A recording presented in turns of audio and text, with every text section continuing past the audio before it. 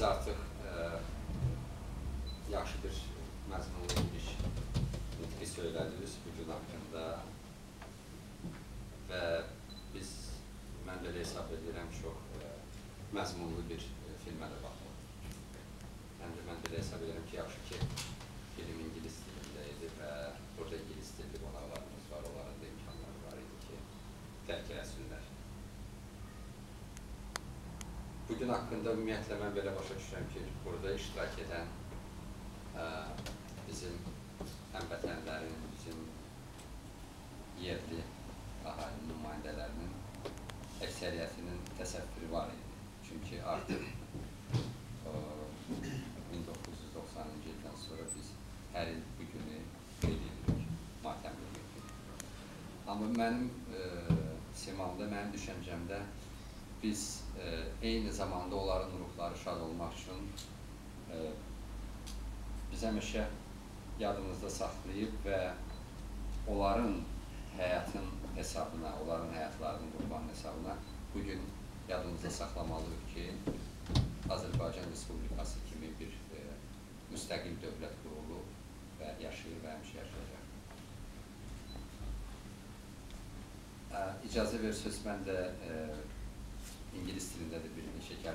Um, good evening, my uh, English speaking friends, I would say, the people who represent the people of the United Kingdom.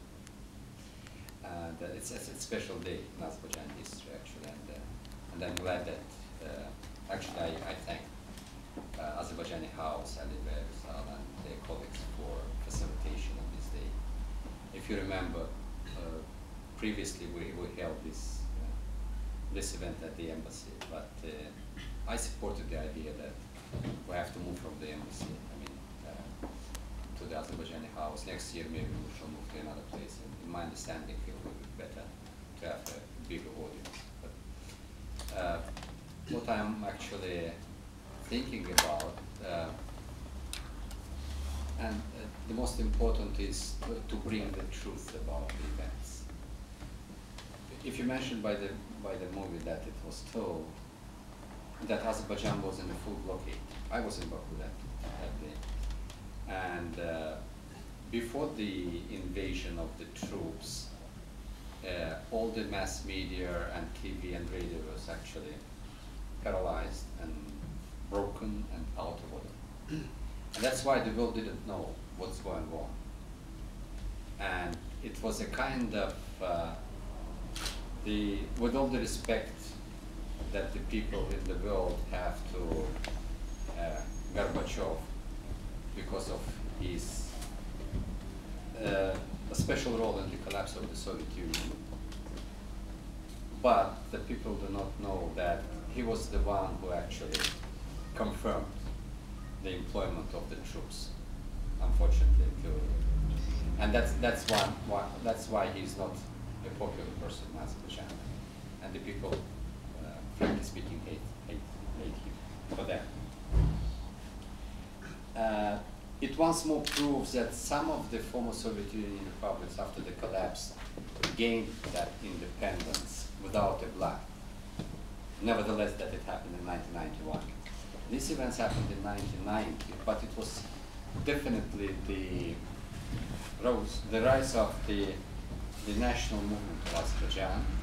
And the main idea of the national movement of Azerbaijan was, independence. And the Moscow was very actually concerned and afraid of that. And they gave the name to the employment of the troops, if I'm not mistaken, to, uh, to bring constitutional order to the republic where coup d'etat is planned or something like that, which was nonsense. Did you see the movie, the, the pictures where a husband and a wife, do they look like a terrorist or a child or uh, emergency car and, and so on and so forth. I wouldn't go back to the movie. My idea is that uh, we, we, have, uh, we have to do our best to bring the, the truth about that to event to the people. We have to think how, how by such kind of movies, books, talks, and which is very important. In my understanding, for the new generation of Azerbaijan, it's very important also uh, to know the history of the very young republic.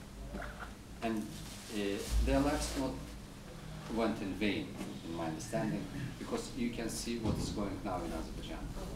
We lost lives of the people, and a couple of days before we celebrated the 9 million citizens of Azerbaijan. We are now 9 million. We are doing well, we have good achievements, we are uh, very strong, independent nation, our economy is doing well, and we, we must be proud of that. I mean, I, I have, definitely everything is related. I mean, if the lives of those people will, it, it, is on the cost, by the cost of the life of those people, and that's why we have to, remember them all. And uh, I'm, uh, I would say just uh, in a few words in Azerbaijani back. Uh, yəqin ki, ehtiyac yoxdur tərcümə eləməyə Azərbaycan dilində, amma ingilisini başa düşür. Mən belə hesab edirəm ki, doğrudan da bu çox Azərbaycan tarixində mühüm bir gündür və heç vaxt yaddan yaddan çıxarılmayacaq və heç vaxt tarixdən ə, gündür. Və mənim düşüncəmdə biz əlimizdən gələni eləməliyik ki, 20 yanvar haqqında həqiqətləri dünyaya, dünya ictimaiyyətinə, cəmaata çatdıraq və mən bir də Allah rəhmət eləsin deyirəm bütün bizim şəhidlərinə və onların ruhu şad olsun. Və sizə bir təşəkkür bildirirəm ki, bugün gəlib və bizimlə hamımızın birlikdə iştirak edirsiniz bu e, belə tədbirdə 20 yanvar şəhidlərinə həsr edici tərəflər. Diqqət sizə görə təşəkkür edirəm.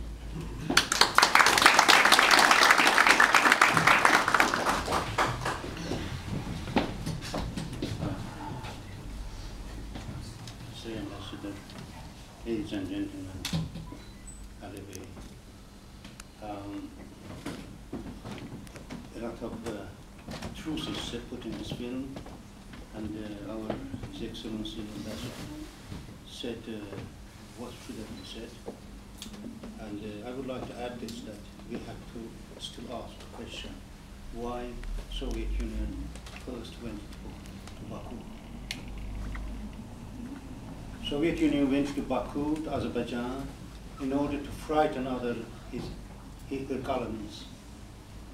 And she thought that by attacking Baku, she will kill two birds by one bullet, which is one, frighten other states and also encourage Armenia to occupy Azerbaijan. There was a this policy of that. Otherwise, he didn't need, she didn't need such a big army. This was a it's like a Second World War army, and inv- invading small country like uh, Azerbaijan. So the result was, as I uh, imported, as I re- received the news, three o'clock in the morning uh, in, nine, in 1990. Uh, in, in, in the morning at 8 o'clock on BBC, Sky, and all uh, televisions, I announced that Azerbaijan is occupied and under uh, aggression, and so many people killed. Then four days continued. So I said that, that Azerbaijan, Soviet Union, took the first step in the fall of the empire. Therefore, this still continues. It's still aggression is from Ar- Armenians that continues. The result was our great, brave people gave blood and their independence. Is a valuable thing for us. Of course, in this independence, I must say that Heydar Aliyev and Elchibey played a very important role. Still, I would say that we are still uh, against this empire, and our occupied lands uh, should be uh, freed. And if it is not, recently President Ilham Aliyev said the same thing that three years ago we discussed, and I'm glad that he repeat, repeated. If Armenians do not leave our land, Armenia belongs to Turks. We will not stop in our occupied land. We will actually demand our occupied land of the rest of Armenia. Ladies and gentlemen, the history is on our side. The history knows.